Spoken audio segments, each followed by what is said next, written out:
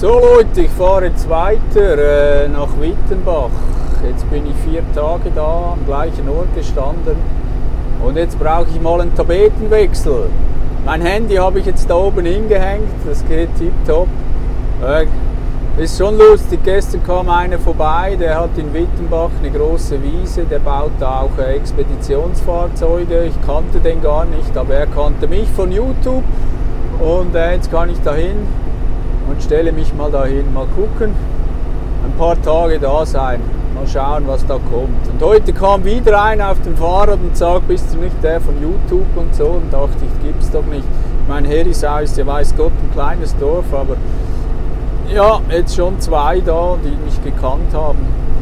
Ja, jetzt äh, ja, filme ich halt ein bisschen weiter, äh, ein bisschen andere Dinge vielleicht, aber äh, ja, ich reise ja trotzdem weiter. In der Schweiz darf man ja sich bewegen, das ist nicht verboten, da ist auch nicht so alles so heikel wie jetzt da gerade in Deutschland. Und hier werden ja die Maßnahmen bereits schon gelockert, manche sind schon, andere werden noch. Also die Restaurants dürfen jetzt dann auch bald wieder aufmachen. Hoffe, dass jetzt bald auch die Grenzen aufgehen, weil dann gehe ich rüber nach Deutschland. Okay. Bin gerade im Landi am Einkaufen zwei Meter Abstand, aber alles geht auch ohne Masken und die Verkäuferinnen, die leben noch. Oh, welch Wunder.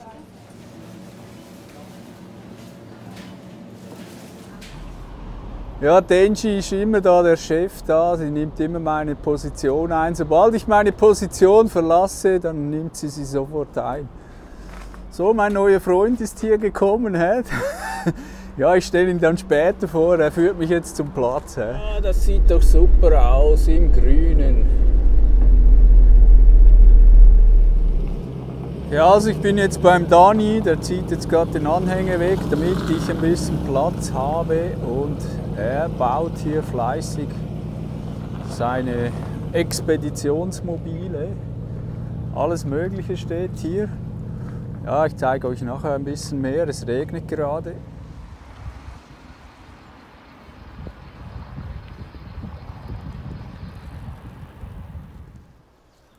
Ja, also im Moment stehe ich in Wittenbach unten an der, oh, wie heißt der Fluss, äh, fällt mir dann noch ein. Äh, und ja, bei einem Fluss und es ist wunderschön, schöne Natur.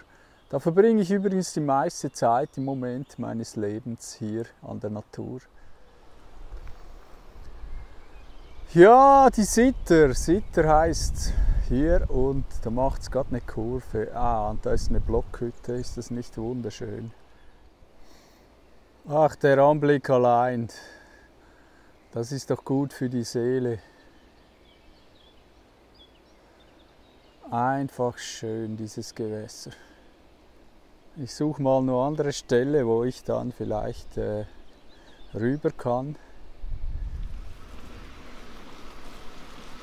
Da hinten Schneeberge.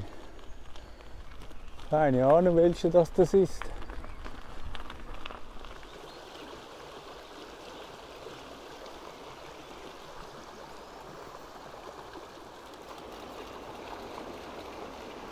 So, jetzt habe ich ein gediegenes Plätzlein gefunden. Ach, Wasser hat einfach eine beruhigende Wirkung.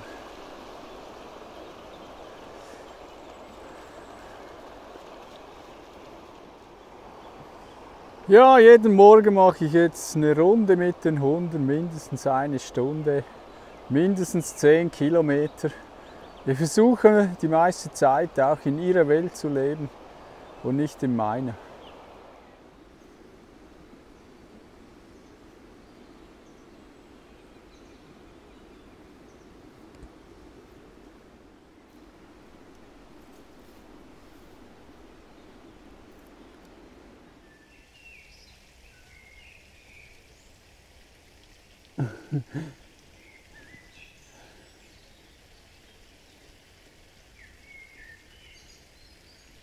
Ayla ist mutiger, Angie hat Angst. Ja, jetzt bin ich gerade mit dem Rad durchgefahren. Doch hier geht's nicht weiter. Ja, nun gehe ich wieder zurück. Ja, schade eigentlich.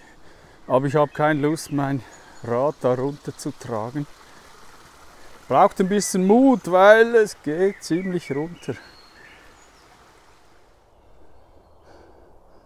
Ja, mitten im hohen Gras, ein zerfallenes Haus, unbewohnt, eine Top-Lage. Oh, ein Paradies zum Wohnen, aber äh, keine Ahnung, wem das gehört. So, jetzt geht's wieder zurück.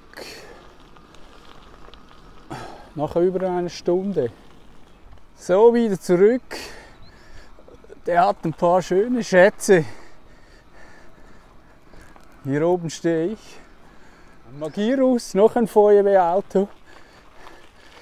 Das ist seine. Da baut er den Container, der da hinten steht, drauf. Ja, und hier habe ich mich mir gemütlich gemacht. Jetzt bleibe ich mal hier, mal schauen, wie lang. So, übrigens, ich, während ich weg war, habe ich mit der Klima geheizt. Hier. Äh, die Wärme geht da runter und dann blase ich sie nach vorne. Jetzt ist es richtig warm da drin. Also mit Solarstrom oder Batteriestrom im Moment. Ja, und so, so wohne ich. He? Ja, super Sache, ist nicht mal kleiner geworden. Als ich weg bin, war minus 320 Ampere-Stunden. Und jetzt äh, ist es immer noch gleich, weil die stellt ja an und aus. So, jetzt wird gefrühstückt da, mein selbstgebackenes Brot, das Dinkel, Biodinkel und äh, Schinken von Italien. Die Butter ist, glaube ich, von Deutschland. Und hier mache ich meinen Kaffee. Ich habe keine Kaffeemaschine, ich mache das immer so. Ich bin ja gasfrei, wie ihr sicher wisst. Und hier seht ihr gleich die Energie, die da verbraucht wird.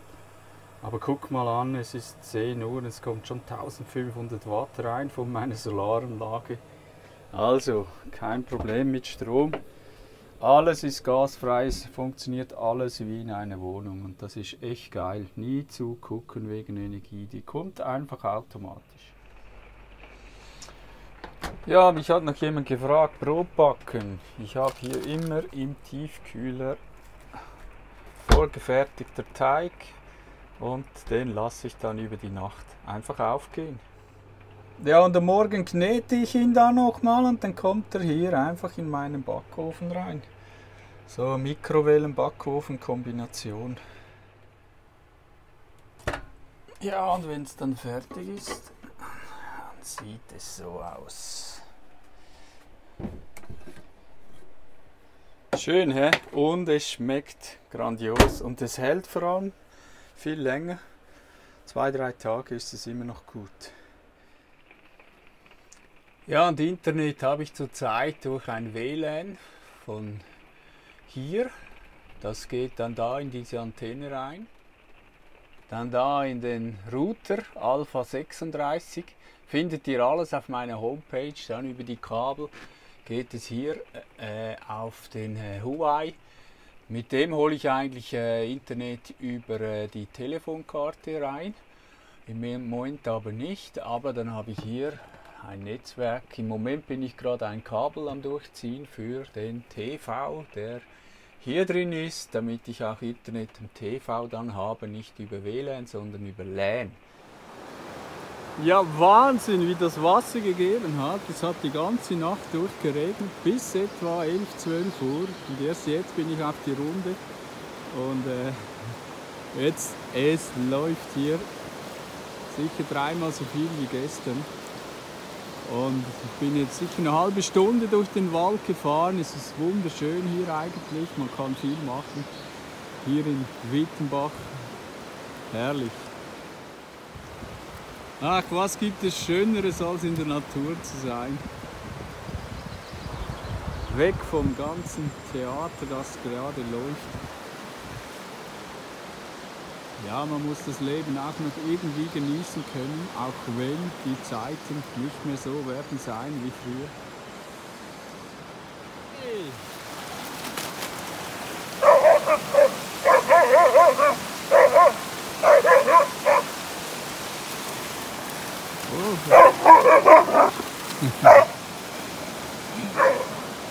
Mutter und Tochter.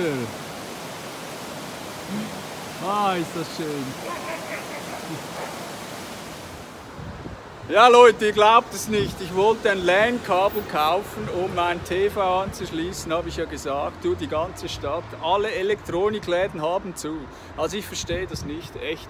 Also ich meine, ob ich jetzt mich in einem Nahrungsmittelladen anstecke oder äh, in einem äh, Computerladen, also, also damit kann man gar nichts verhindern. Jetzt bin ich hier in dieses Geschäft hier, aber das ist ein Bodybuilder äh, Ergänzungsnahrung. Habe einfach mal gefragt, hast du ein LAN-Kabel, der geht gucken, findet noch eins und jetzt hat er mir das geschenkt. Unglaublich. Hä? Also, ich muss das LAN-Kabel in einem Power äh, Fitnessstudio besorgen. So verrückt, dass ich hab's jetzt. Wahnsinn.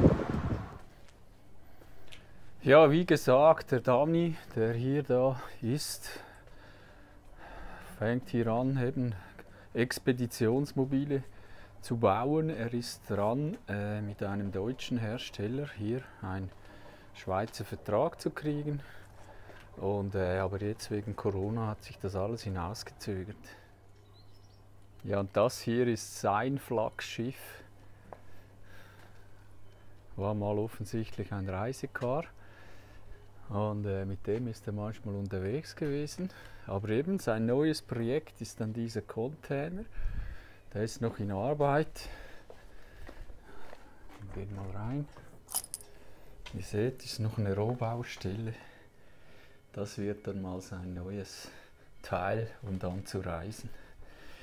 Äh, der Vorteil ist, er kann das, das richtige Container kann den immer hoch und runter machen und sein Fahrzeug wechseln. Wenn dieser nicht gut genug ist oder so, kann er einfach wechseln. Ja, so Leute, das war es wieder von mir. Äh, jetzt ein bisschen andere Videos. Ja, was mache ich jetzt dann? Ich versuche jetzt gerade irgendein Papier zu kriegen, damit ich nach Deutschland rüber kann. Auf legalem Weg und äh, da meine Freunde besuchen, weil die meisten Freunde sind da drüben. Und äh, morgen weiß ich dann mehr. Ja, ich werde dann wieder hören von mir. Okay, wenn es euch gefallen hat, dann Daumen hoch und tschüss.